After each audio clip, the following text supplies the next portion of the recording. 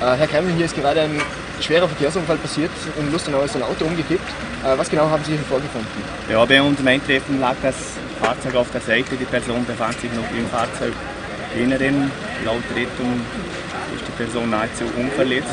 Unsere Aufgabe bestand darin, das Auto wieder in die waagrechte Position zu bringen und so die Person aus dem Fahrzeug zu bergen. Äh, mit wie vielen Mann waren Sie vor Ort? Mit 25 Mann und vier Fahrzeugen.